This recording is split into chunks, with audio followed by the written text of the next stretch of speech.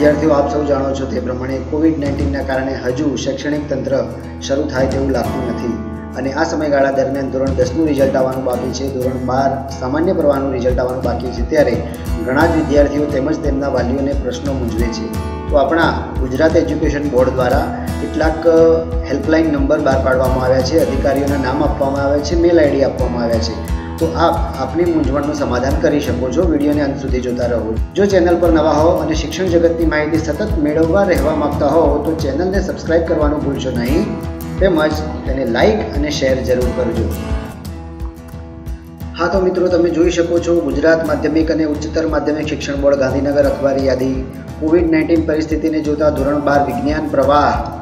ધોરણ દસ, ધોરણ બાર સામાન્ય પ્રવાહના તેમજ ગુજકેટની પરીક્ષા માટે પરીક્ષાર્થીઓ, વાલીઓ અને શાળાના આચાર્યશ્રીઓ દ્વારા પરીક્ષાને લગતા ઉપસ્થિત થતા પ્રશ્નો અને મૂંઝવણો દૂર થાય તે માટે નીચે જણાવ્યા મુજબ બોર્ડ દ્વારા ધોરણવાર મૂંઝવતા પ્રશ્નોની પૂછપરછ માટે મોબાઈલ નંબર આપવામાં આવેલ છે.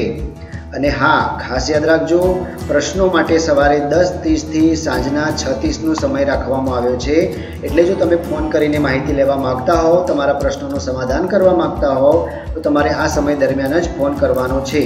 આ કલાક દરમિયાન ધોરણ દસ, ધોરણ બાર વિજ્ઞાન પ્રવાહની ગુજકેટની પરીક્ષાના પ્રશ્નો અને ધોરણ બાર સામાન્ય પ્રવાહ માટે દર્શાવેલા મોબાઈલ નંબર ઉપર મૂંઝવતા પ્રશ્નો પૂછી શકશો. વધુમાં કોવિડ નાઇન્ટીન પરિસ્થિતિમાં ટપાલ સેવા બંધ છે.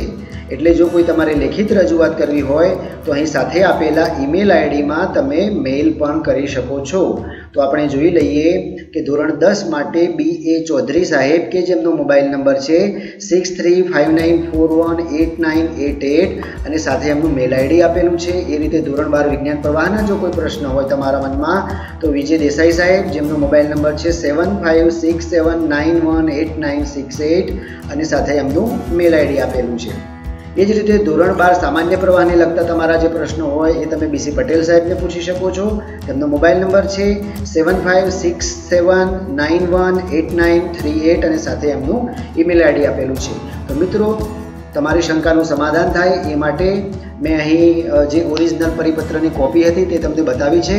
તો તમારે કોઈ પણ પ્રશ્ન જો મૂંઝવતો હોય ધોરણ દસની પરીક્ષાને લગતો, ધોરણ દસના રિઝલ્ટને લગતો ધોરણ દસ પછી અગિયાર ક્યારે ચાલુ થશે એને લગતો પ્રશ્ન હોય, ગુજકેટની પરીક્ષાનો પ્રશ્ન હોય કે ધોરણ બાર સામાન્ય પ્રવાહના રિઝલ્ટનો પ્રશ્ન હોય, તો તમે આ જગ્યાએ ઈમેલ કરી શકો છો અથવા તો દર્શાવેલ નંબર પર દર્શાવેલ સમયે તમે ફોન કરી શકો છો અને માહિતી લઈ શકો છો.